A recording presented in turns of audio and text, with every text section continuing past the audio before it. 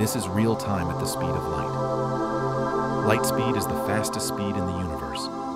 It travels at 299, 792, 458 meters per second, or 186,282 miles per second.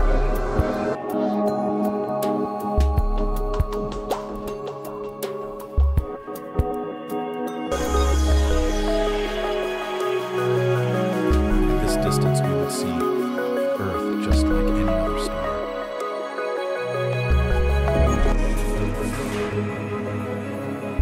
That distance is about six times farther than Neptune's orbit. Let's move to a light year. I reached the maximum yet it still looks so small.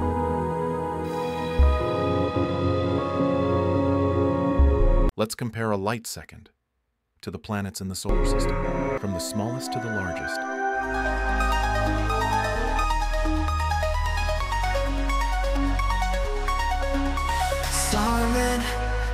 Out to me across the stars where dreams roam free.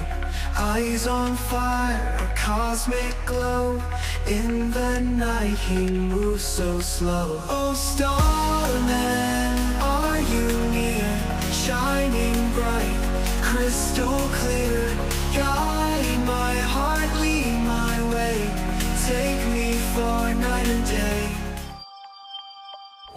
our sun took up the whole screen at that distance.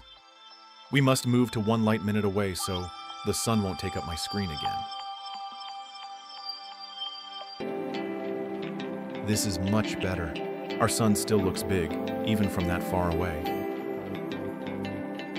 Let's move to the brightest star in the sky after the sun. It's slightly bigger than our sun, but it is much brighter and much hotter. Will the biggest known star take up the whole screen again? Of course it is so massive. This is about 2,150 times larger in diameter than the sun. Let's move to one light hour.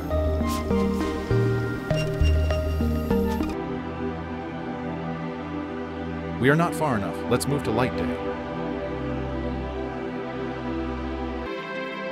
This distance is 173 AU. 1 AU is the distance from the Earth to the Sun.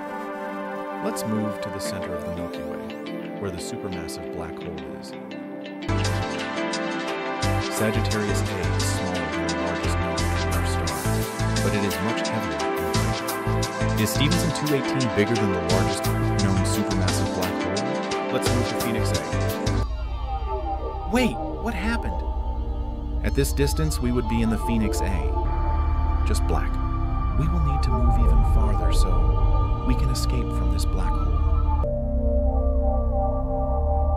Phoenix A is the largest black hole ever discovered. Its mass of 100 billion times that of our Sun. Let's compare this to our solar system.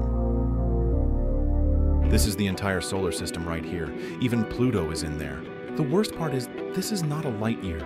I zoomed into the maximum. Let me zoom out. Our sun has turned into something like other stars. Just a dot.